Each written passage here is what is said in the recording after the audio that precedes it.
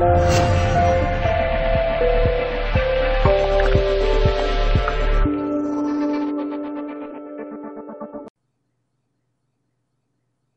this session, let us try to understand the Hadoop distributed file system daemons.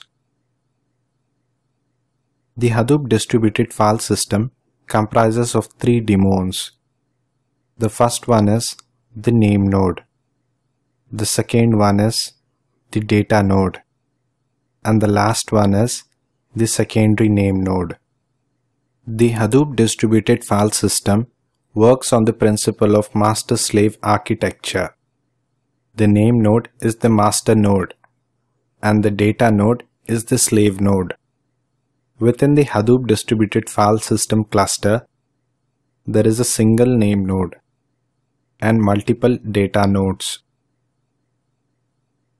Let us try to understand the functionality offered by each of this daemon.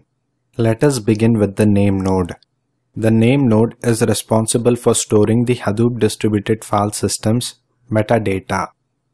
The metadata keeps track of all the files that are present within the Hadoop distributed file system.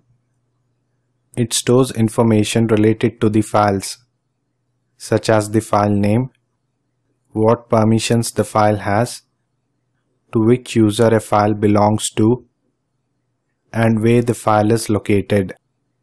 It also stores information about what blocks of the file system are mapped to each file that is present within the HDFS. All this information is stored on the RAM. It usually occupies around 1 gigabytes of RAM to keep track of approximately 1 million files. The information that is stored on the RAM is commonly referred to as file system metadata. This file system metadata is also stored on a set of files on the disk which we would be discussing in the later sessions. Now let us try to understand the functionality offered by the data nodes. The data nodes are responsible for storing and retrieving the data as instructed by the name node. The data nodes periodically reports back to the name node with their current status and the list of all the file blocks they are storing through something called as heartbeat. The data node stores multiple copies for each file that is present within the Hadoop distributed file system. We would be discussing the secondary name node in a separate session.